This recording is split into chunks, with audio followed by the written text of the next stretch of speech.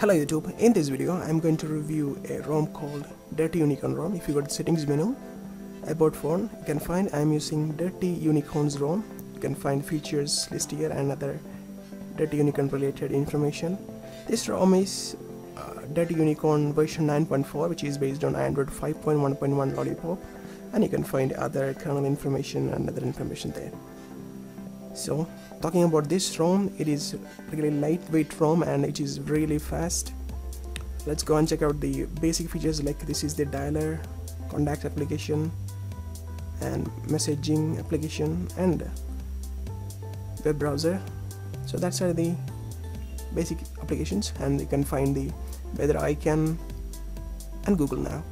If you pull down the notification area you can find clock, calendar, weather tapping on the battery icon it will list the battery settings and from here I can choose the battery saver option. And then clicking here I can choose between the users. And you can see all the toggles here along with brightness control.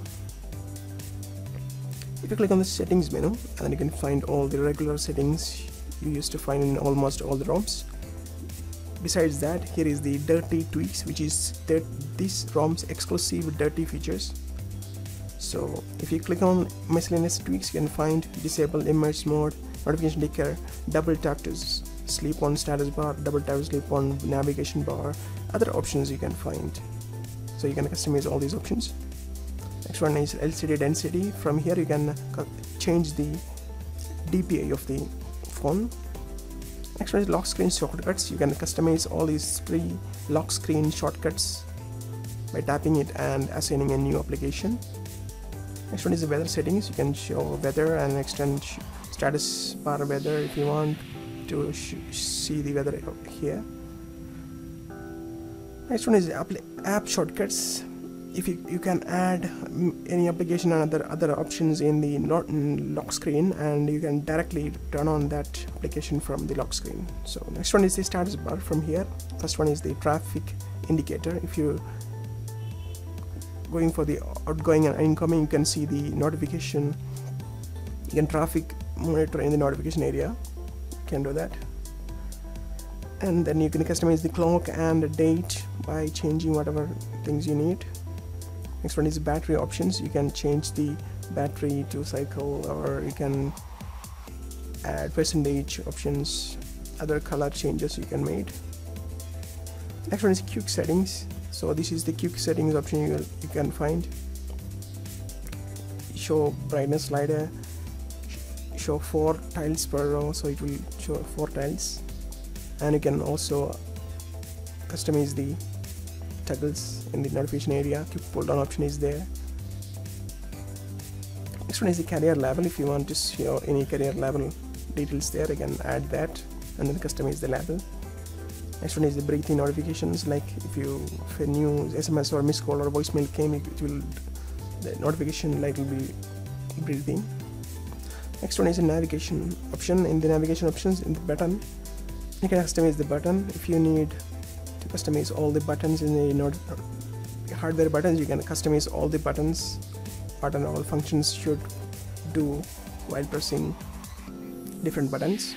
So that's all about the buttons option. Next one is the navigation bar. If you are preferring navigation bar on-screen navigation bar you can customize the buttons and you can add buttons you can do other things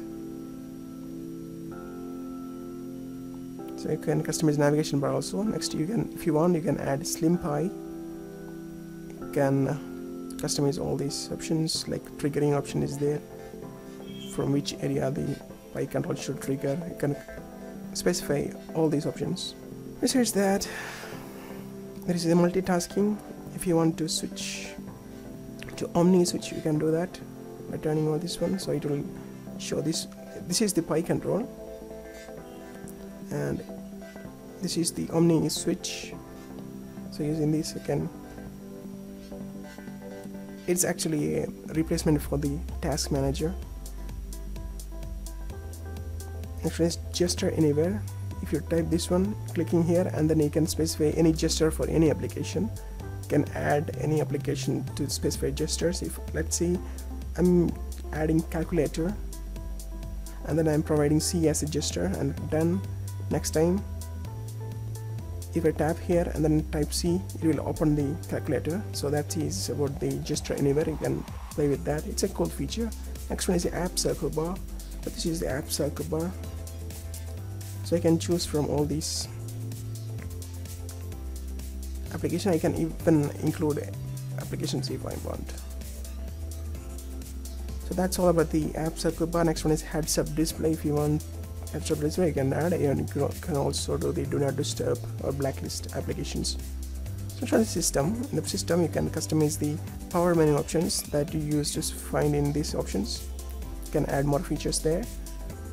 In recent panel you can show the memory bar.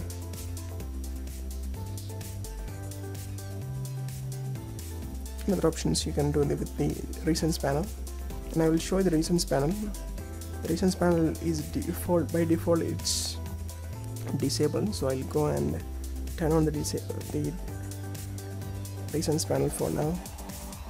I'll customize it to come on the long press. So this is the recent panel. It looks really nice. This is the slim recent panel. This is one of the cool feature I found in this ROM. This is actually slim recent panels here you can see. So you can simply swiping this one like this and then the application will be closed. You can customize all the that options from here. Next one is expanded desktop if you want uh,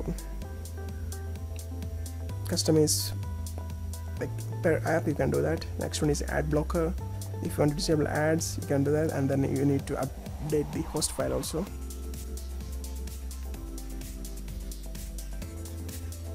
next one is the wakelock blocker. If you want to do that want to play with that you can also do that.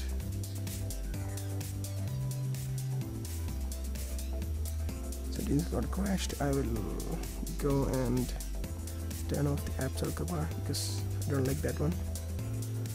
Next one is animation. You can customize all the system wide animations. Let's do animations from here. Next one is the download center where you can download G apps latest G apps and PAG G apps you can download different G apps from there and then flash. So that's all about the ROM specific settings that you can find in dirty tweaks. Next one is gestures. These are the three regular gestures screen of gestures and then is the themes option. You can flash CM theme themes. And these are normal display options. Other other CM related features are there nothing new. And here's the kernel auditor this app is comes with this ROM so you can find the details about the kernel. Every details about the kernel. You can change the you can see the frequency table and you can play with CPU features CPU throttling all these options you can play with. So that's all about the kernel auditor. And if you look at the camera this is actually Google camera nothing new and then change lock screen wallpaper. You can do that from here by tapping here. You can select. And the, the, the Apollo is the music player with this and the DSP manager is there. And here is the Dirty Unicorn updater so you can you will get the audio updater from there. And it is the gallery.